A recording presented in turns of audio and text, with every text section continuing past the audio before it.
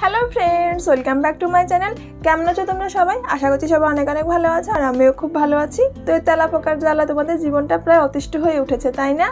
এই তেলা পোকা যেখানে সেখানে পড়ে থাকে, যেখানে সেখানে আমাদের ঘর নোংরা করে ফেলে এবং আমাদের রান্নাঘরে অনেক বেশি উৎপাদ করে, যার কারণে আমরা খাবারগুলো সেফলি রাখতে পারি না।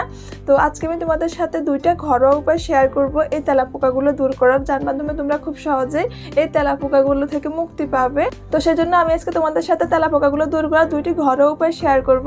এই দুইটি উপায়ের মধ্যে যে কোনো একটি করলে মাত্র তিন দিনের মধ্যে তোমাদের ঘর থেকে সমস্ত তেলা পোকা দূর হয়ে যাবে অথবা মরে যাবে।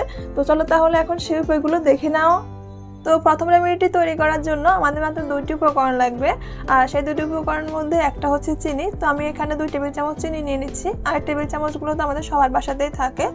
আর লাগবে হচ্ছে আমাদের বেকিং সোডা তো এটা হচ্ছে খাবার সোডা অনেকে এটাকে বেকিং সোডা নামেও চিনে। আপনারা হচ্ছে যে কোনো বড় মুদি দোকানে অথবা সুপার শপে গিয়ে বেকিং সোডা অথবা খাবার সোডা বললেই কিন্তু দিয়ে দিবে। তো আমি এখান থেকেও দুই টেবিল চামচ খাবার সোডা নিয়ে নিচ্ছি।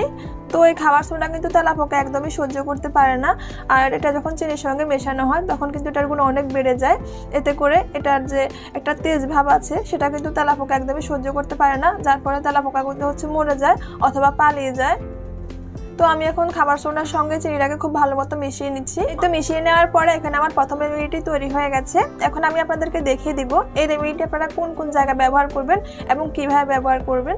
তো যে যে জায়গায় হচ্ছে আপনাদের তেলাপোকা আছে বা আপনারা দেখতে পান সেই সেই জায়গায় এভাবে করে হাত দিয়ে জাস্ট একটু ছিটিয়ে দিবেন। আর এটাতে যেহেতু শুধু খাবার সোডার চিনি আছে, সেহেতু আপনাদের হাতে কোনো ধরনের সমস্যা কিন্তু হবে না। এটা যদি আপনারা হাত দিয়ে ধরেন, তো সেক্ষেত্রে এভাবে করে ছিটিয়ে দিলে কিন্তু হবে। তো আমি এখানে দেখতে পাচ্ছেন আমার ডাইনিং টেবিলের নিচে এভাবে করে ছিটিয়ে দিচ্ছি।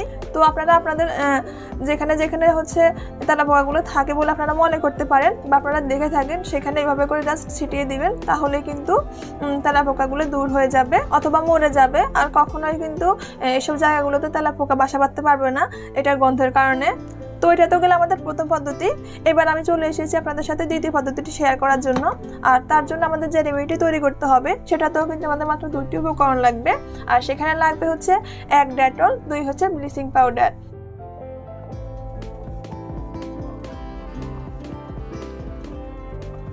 দেখতে পাচ্ছেন চায়ের কাপের হাফ কাপ পরিমাণ আমি ডেটল ঢেলে নিয়েছি। এরপরে আমি হচ্ছে ব্লিচিং পাউডারটা নিব। আর ব্লিচিং পাউডারটা আমি এখান থেকে দুই চামচের মতো নিব। আর আপনারা এখানে বেশি ব্লিচিং পাউডার কিনতে যাবেন না, কেননা ব্লিচিং পাউডার কিন্তু অনেকদিন পর্যন্ত ঘরে থাকলে সেটা জল হয়ে যায়। তো সেই জন্য আমি এখানে এই ছোটো প্যাকেটটা কিনে আনলাম। এমনিতে বড় প্যাকেটটা পাওয়া যায় আর কি। তো আপনারা যদি বেশি দরকার পড়ে, সেক্ষেত্রে বড় প্যাকেট কিনতে পারেন। আর কম দরকার পড়লে এরকম ছোটো একটা প্যাকেট কিনে নেবেন। তো আমি এখানে কাপের মধ্যে নিয়ে এখন হচ্ছে চামচ দিয়ে খুব ভালো মতো এগুলোকে মসৃণ করে নিচ্ছি। কেননা এগুলো প্যাকেটের মধ্যে কিন্তু অনেকটা দানা দানা হয়ে থাকে। তো সেজন্য এটা কিন্তু আমরা জলের সঙ্গে মেশাবো। তো জলের সঙ্গে মিশতে চাইবে না। সেজন্য আমি খুব ভালো মতো একটু চামচ দিয়ে, চামচের পেছনের দিক দিয়ে এভাবে করে মসৃণ করে নিচ্ছি। এরপর আমাদের যেটা লাগবে সেটা হচ্ছে একটা মগের হাফ হাফ মগ জল যদি লিটারের হিসাব বলতে যাই, তাহলে হবে এখানে এক লিটার থেকে এক কাপ পরিমাণ কম। তো আমি আপনাদেরকে এই মগের হিসাবটাই দেখিয়ে দিচ্ছি। এরকম একটা মগের আপনারা হচ্ছে হাফ কাপ মগ জল নেবেন, তাহলে হবে তো এখন এই ব্লিচিং পাউডারটাকে আমি এই জলের মধ্যে দিয়ে দিচ্ছি। আর এখানে সবগুলো ব্লিচিং পাউডার কিন্তু আমি একসঙ্গে দিচ্ছি না, কেননা সবগুলো যদি আমি একসঙ্গে দিতে যাই, এটা জলের সঙ্গে মেশাতে আমার অনেক সময় লাগবে। তো আমি এখানে এভাবে করে প্রথমে কিছুটা দিলাম, এরপরে হচ্ছে বাকিটা দিব। আর দেওয়ার পরেও দেখেন এগুলো কিন্তু খুব সহজে মিশতেছে না, আমি এখন চামচের পিছন পাশ দিয়ে এভাবে করে কিন্তু মিশিয়ে নিচ্ছি। তো এই ব্লিচিং পাউডারের গন্ধ কিন্তু তেলাপোকা একদমই সহ্য করতে পারে না। আর আপনারা তো জানেনই এই ব্লিচিং পাউডার কতটা তেজি ভাব থাকে।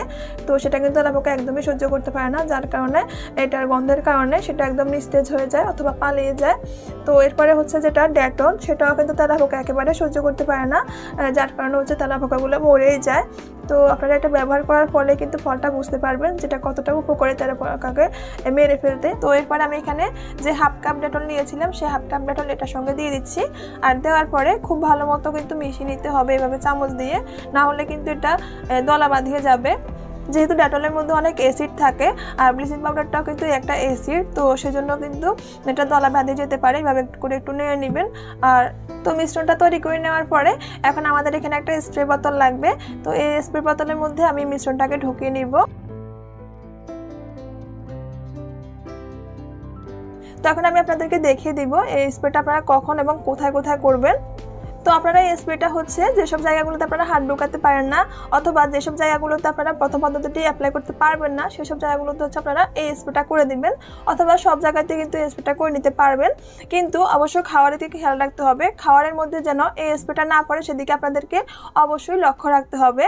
তো বিশেষ করে এটা হচ্ছে আলমারির নিচে, খাটের নিচে, অর্থাৎ যেসব জায়গাগুলোতে আপনারা হচ্ছে খাওয়ারের জিনিস রাখেন না অথবা থাকে না, সেসব জায়গা, সেসব জায়গাগুলোতে আপনারা এই স্প্রেটা করে নেবেন। তো আমি এখানে আলমারির নিচে করে নিচ্ছি। এরপরে এখানে চলে এসেছে আমার সেলাই মেশিনের নিচে। এই সেলাই মেশিনের নিচেও কিন্তু অনেক তেলা পতাকা থাকে, তো আমি সেজন্য এইসব জায়গাগুলোতে করে নিচ্ছি। আর এটা বিশেষ করে নিচে জায়গাগুলোতে দিবেন তাহলে কিন্তু আপনার তেলা পতাকাগুলো এটার গন্ধের কারণে চলে যাবে।